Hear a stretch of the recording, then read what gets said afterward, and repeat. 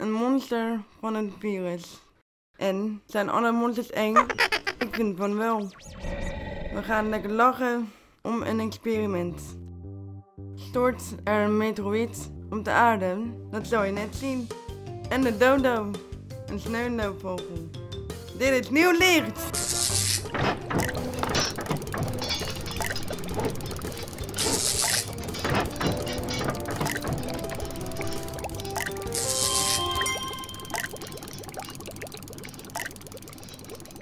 Dit is ons lab.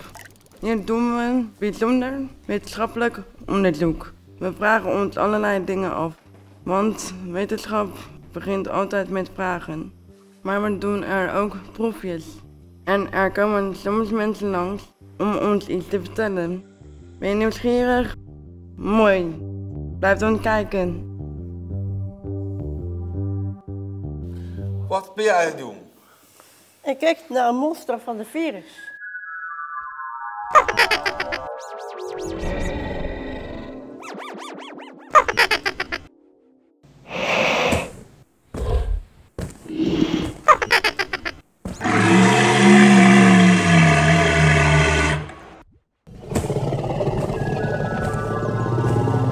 dat niet gevaarlijk? Dat weet ik niet. Hey, vraag aan deskundigen.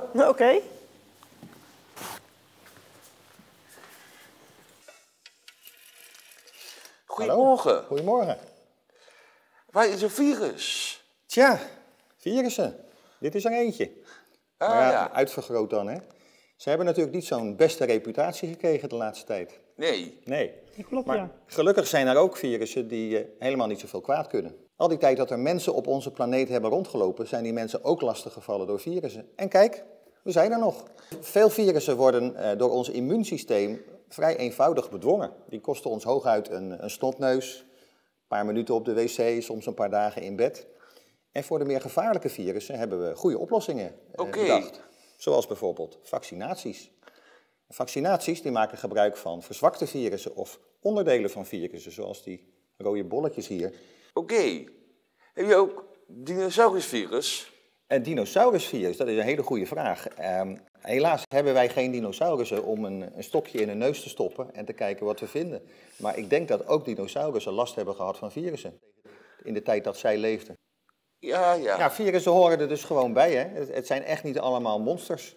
Nee. En als we een beetje uitkijken en elkaar niet onnodig besmetten, dan is het allemaal best, eh, best te doen, denk ik. Dan zijn ze aardig onder controle te houden. Meestal, maar helaas niet altijd. Nou, bedankt. Graag gedaan. En eh, tot de volgende pandemie. Dankjewel. Dank je.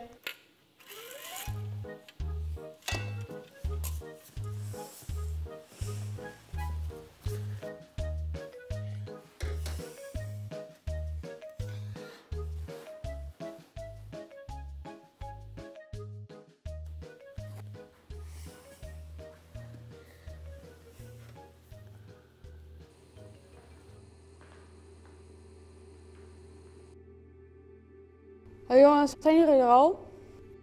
Nou, we zijn op breedtegraad 52, lengtegraad 4.5 in Oud-Aarde, vlakbij eh, de Rode Molen. Ja. Maar wat verwacht je van ons eigenlijk? De buitendienst. Oké. Ja, Zei ze? Ze heeft uitgerekend dat het wel eens zo zou kunnen zijn dat er weer een meteoriet neervalt op aarde. Of we Hier. dat even willen checken. Ja. Of we iets zien aankomen.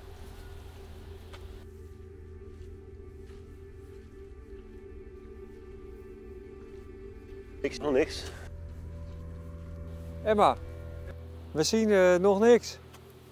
Oké, is goed, hou hem hoogte.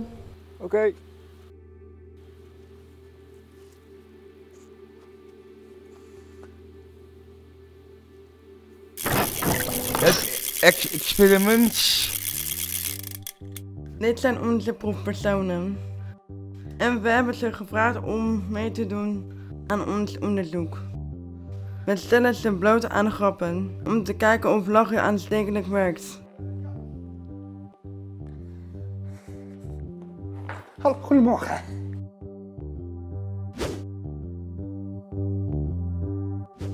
Goedemorgen.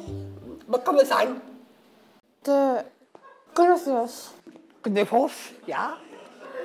En een zoen. Eh, een zoen. Oké, oké. Eh, een toetje. En een, en, een, en een massage. Massage. Oké. Alsjeblieft. Graag gedaan.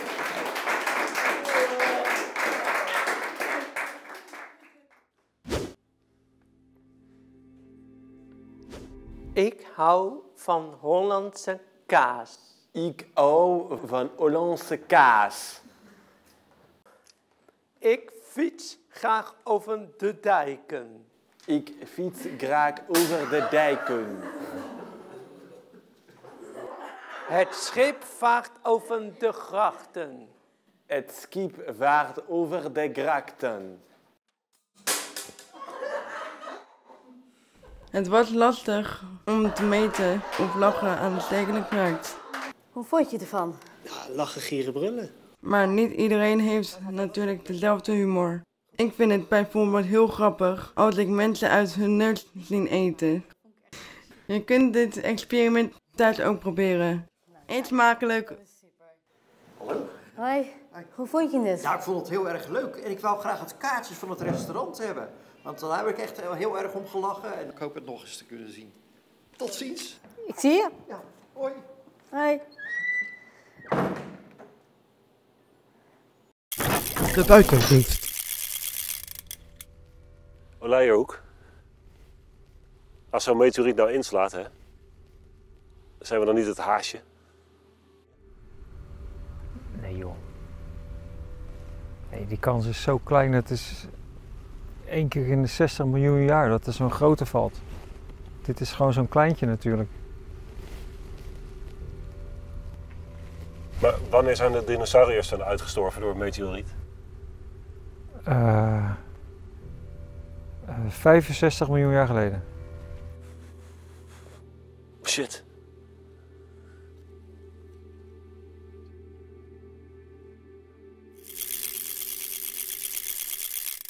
Onze wetenschappers verlaten het lab Doei.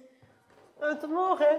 en zijn onderweg naar Naturalis. Een supergroot museum waar ze alles weten over de natuur. We vragen aan een onderzoeker: Is het eigenlijk erg als een dier op is? Is het erg als er dieren uitsterven? Eh, ja, het is erg als er dieren uitsterven. Dan bijvoorbeeld het evenwicht in de natuur is dan verstoord. Iedere soort heeft een eigen rol in de natuur. En als er nou één dier uit is, dan is die rol van dat dier ook weg. En dan, dan kan het instorten. Dan kunnen een hoop andere dingen ook weer niet. Als die bloemen niet bevrucht worden, dan heb je geen zaden. En dan houden die bloemen ook op. En als er geen roofdieren meer zijn, dan kun je te veel prooidieren krijgen. En als die bever geen dammen bouwt, dan krijg je een heel ander soort planten. En de rivieren lopen dan ook heel anders. Dus ja, ik vind het wel erg als dieren uitsterven. Wat wa- was de rol van de dodo in de, in de natuur? Want het lijkt me niet dat het alleen maar een vogel was die alleen maar waggelde.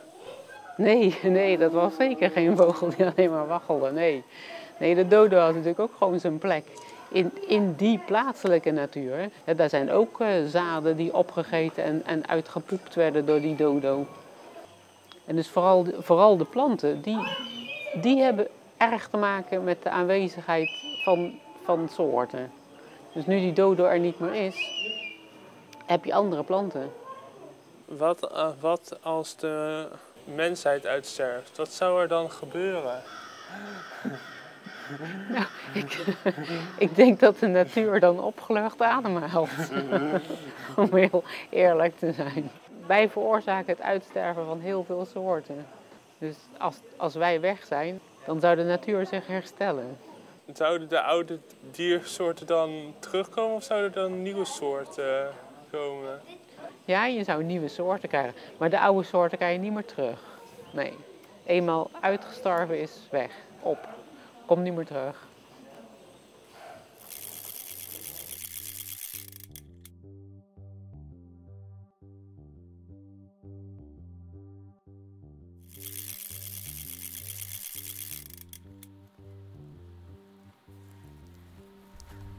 Hey Mike. Hey, drie makkelijk.